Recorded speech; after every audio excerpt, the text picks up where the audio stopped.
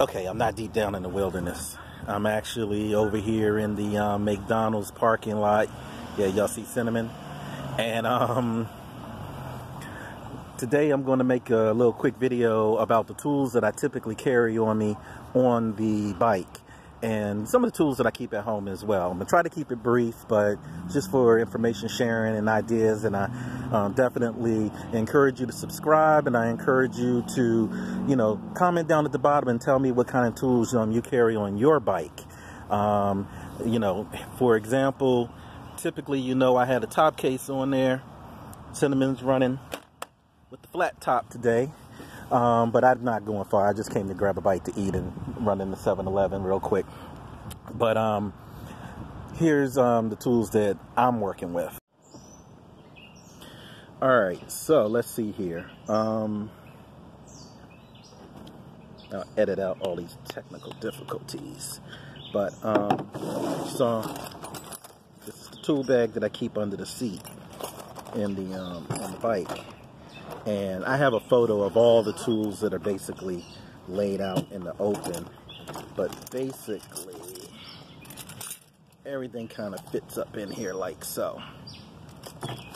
And you know I've got some wrenches some spanners. And um,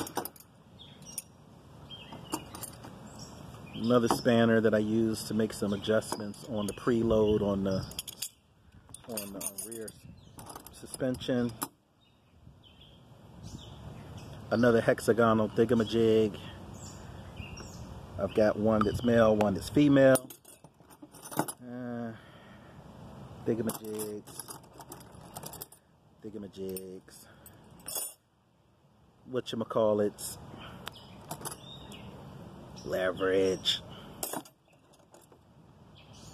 Always check your tire pressure you don't have to ride around with your tires at max pressure, but you also don't have to ride around with your tires at 12 psi. Moderation, people, moderation. Like alcohol, which you don't drink while you're riding, but you know, air your tires up in moderation, folks. Find a happy medium. Um, it's some more spanners and some more you know, wrenches in here. Various different sizes. What is this? 14 millimeter, 10 millimeter, um, 12 millimeter, 11 millimeter, another 10, another 14, another 12. Here's something to note. I have the longer ones and the shorter ones because these are good for getting in some of, them, some of those tight spots. And sometimes you just need two 12s in order to do some things. So some of these are duplicated in terms of the numbers. I know I got two 12s and two 10s in here. I, I believe I have two 14s as well. So this is the tools that I carry on the bike. And um, this comes very handy. Um, it's not often that I, I also got some Loctite that I keep on the bike. It's not often that I don't, um, you know, have something that I need in a clutch in this pouch. I also keep my um, AMA, AMA, I don't know if y'all can see this, my AMA card on me at all times and my bike registration, of course, you know what? This is the old registration, that expired. I need to go and swap this out and put the new one in here. Um, and um, I didn't know I was only down to one of these, but um, I need to go dig in the pack. These are the um, tire plugs and the actual um, plug tools they're under the seat as well. They were up under this pouch. I'll break those out. I'll, I'll put a screenshot of those in the video. Let's see here. So some of the things that I keep at home I keep um, my tire irons and I think you guys saw me using these um, in the most one of our most recent videos, the changing a tire video. He didn't really show a lot of the struggling with the tire iron. I didn't show a lot of the struggle, but um, they come in handy and um, for changing your own tires. Also, for those of you that care about your little pretty shiny rims, we do have some um, rim guards. I use them. They help a little bit. I'm not that paranoid about my rims so much. Um, it is good to keep the rims from scratching, scratching up just because the scratches can lead to rust. So if you really care about stuff like that, then you definitely want to try to protect the rims, try to protect the other metal on the bike. Uh, I don't really think of my bikes in terms of having to be pristine all the time. I'm a little rough with my stuff, so um, I don't necessarily always make sure that the bike doesn't pick up scratches. Builds character. Um, now, the funny thing, I was digging through my tools today and I came across this little thing, this thingamajig. And this thingamajig actually helps you to um, press the rubber on the tire down into the well so that you can get the slack that you need to get the entire tire on the rim. I completely forgot about these and it took us probably a good 20 minutes longer than it needed to because um, I didn't pull these out and use them to help leverage you know the activity of changing the tire. Um, this is a breaker bar and breaker bars are very useful tools to have. Um, very useful tools to have. This is adjustable. You can change the sizes. Um, what is this, a half inch? I don't know. But um, definitely, you know, again, this gives you leverage.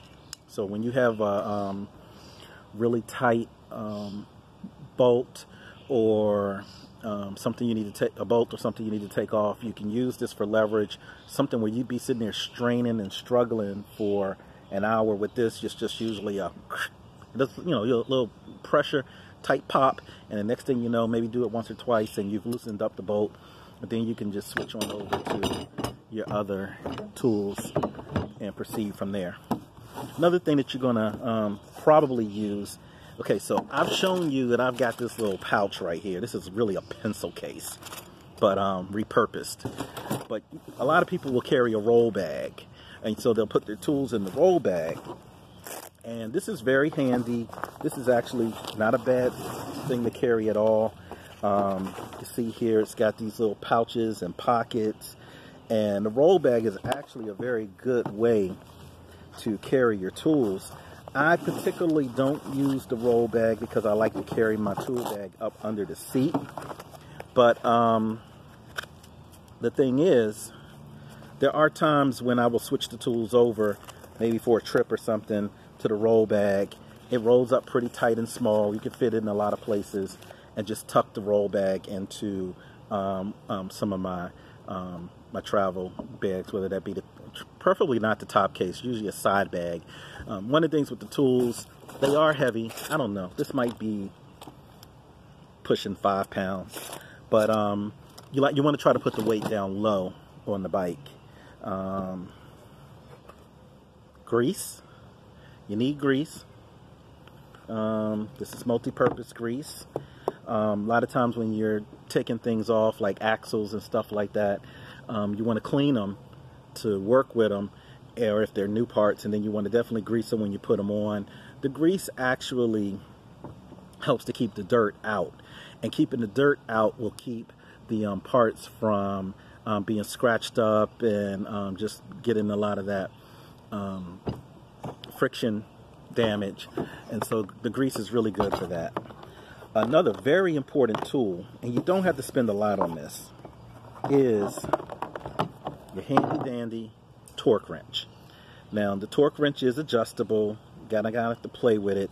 There's some little you can't see this I'm sure, but there's some writing on here that helps you to know um, how many pounds of pressure, um, how many pounds of torque I should say, are being applied. It comes with um, newton meters on one side and foot pounds on the other side. Um, that's the other thing I didn't mention. You notice when I was talking about my tools, I was mainly discussing my tools in, in millimeters. Um, your tools can come in uh, metric and or standard. You know, America's old-fashioned. We haven't, well, we'll talk about this. This is the time and place. Um, um, America has not Americans have not really moved to the metric system the way the rest, most of the rest of the world has. And it's really interesting for that to be the case because in reality, the country, especially the businesses, have moved to the metric system. So if you ever take the time to look at a soda bottle, for example, um, you know, soda, carbonated beverage, pop, it's going to read 20 it's gonna it's gonna say it's gonna say 20 ounces, but it's also gonna have um, some type of metric measurement on the bottle. Just like we buy two liters, we don't buy half gallons of of um, Coca-Cola. We buy two liter bottles. We buy one liter bottles. Um, I think it's really just the liquor and the milk that we just can't let go of some of those standard measurements. Um, you, you, know, you get a pint of liquor, you get a, um, a quart, you know, by your, but actually if you look at the bottles, you will note that the bottles will measure out 500 milliliters, um, a liter, which is a thousand, um, um, a thousand milliliters. Um, basically, we have moved to the metric system whether we, we own it or not. So depending on the type of bike you ride, you may have a bike that um, has standard measurements like Harley's. Um, that's pretty much the only one that's running that way and most other bikes are going to run with metric measurements. So your Japanese and your European bikes are going to come um, in millimeter and other other metric measurements. Um, usually they measure the weight in kilograms. I noticed a few countries are a little, you know, you know, bifurcated in terms of their terminology. They'll still they still understand the standard terms, but all in all, the metric terms are more precise. The metric terms are more universally known and um, it really you should just make sure the tools that you have match up to your bike and honestly if you got standard tools um, you can find the right one to fit and same thing vice versa for the mill, um, with the uh, millimeters you can find something that fits in reverse I got one more thing that I'm going to show you guys on this particular video and then I think that will think we will be able to wrap this one um, this one up uh, take that back two more things and then Okay, so also we have a ratchet set. Now, of course, I don't carry this on the bike with me, but um, I do carry this. I keep this at home. It's got a lot more variety in terms of the sized um, tools. This particular brand is Stanley. Stanley seems to be pretty good. Um, I'm not particular to one brand, although they do. There is a such thing as name brand quality when it comes to your tools. So you might want to do a little background on that and do something you're comfortable with. Notice the measurements are on here. Over here we've got the metric, and then over here we've got the standard measures. Um, again, uh, metric on this side standard on this side. Same thing down here, standard on the left, metric on the right, um, different size tools. So, all in all, um, the ratchet set is very important. Um, you guys know um, I've got a video either out or coming very soon on the Haynes Service and Repair Manual. Um, and in here, actually, I'm not going to dive deep into this because, like I said, it has its own video. But in the introduction, if I can find it, there actually is some information. Oh, I can't find it. Okay, there's a chart in here. Ah, hold on. There's a spec chart in here.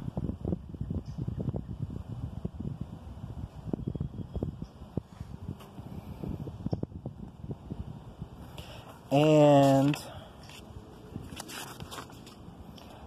there's also a maintenance schedule in here.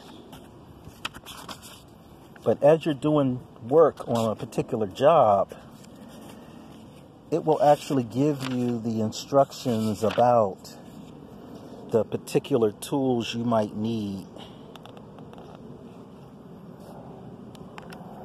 in order to do a certain job. So it's pretty detailed in terms of its instructions. Um, even gives you levels of difficulty. And I highly advise that if you own any kind of motor vehicle that you buy the Haynes manual to go along with that vehicle. And the only other thing I want to show you here is um, I do have an air compressor. This one is slime. Oh, hold on. Air compressor. This one is slime. I usually keep some gloves on me on the bike. I keep the compressor on the bike with me when I'm riding. Uh, let's see, can I show you the connector?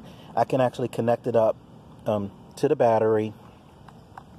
And um, this is usually tucked away somewhere on the bike um, anytime I go out. So if I do experience a flat tire, I, you know, I have the air compressor to, and if even I'm, I'm low, if I want to down, you know, take my tire pressures down for some off-road, um, I can do that. And when I get back and ready to go back on the road, I can, you know, air it back up. Just really handy. Uh, I'll, at some point, I'll put the link down at the bottom. It did not cost a lot, I'll tell you that. I also have, oh, I don't even know what brand this is. What is it? Python Venom. Venom. So I can use, um, I have a front and a rear. I think I just brought the front out just now because um, I used it when we changed the front tire about a week or so ago. So I use that to jack up the bike. I also do heavily recommend that you get a center stand. Um, a lot of my light maintenance, like my chain cleaning, I'm able to do on the center stand.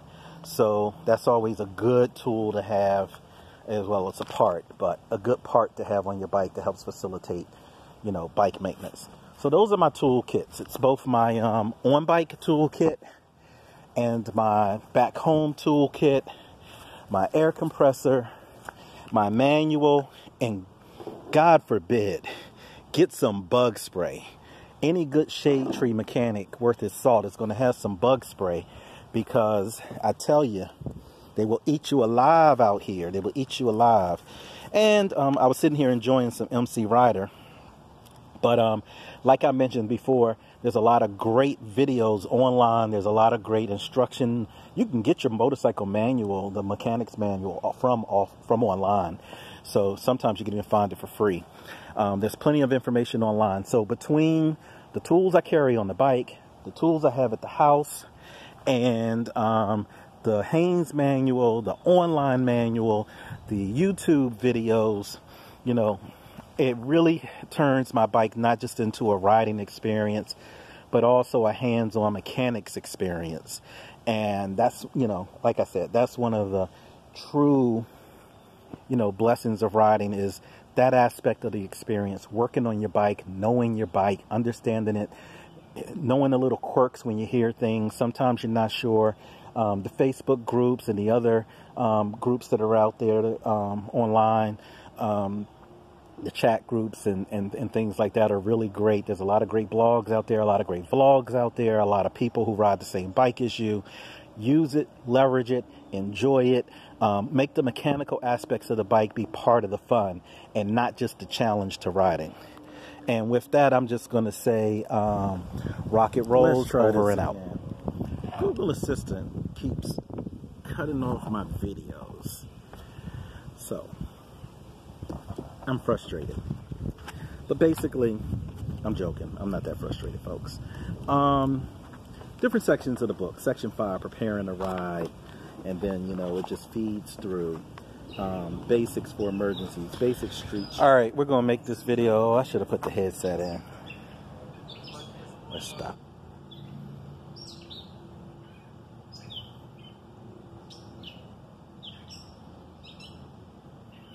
This is freaking ridiculous. I can't get the phone to record properly without Google Assistant interrupting all the damn time if I have it turned off. So I'm to turn it back on. Google is going to proceed to be intrusive upon my entire life and they're not going to make a single additional dollar from me because of it, which is the most irritating part. I already subscribe to a couple of different services. I, you know, I have an expanded drive. And it's just frustrating because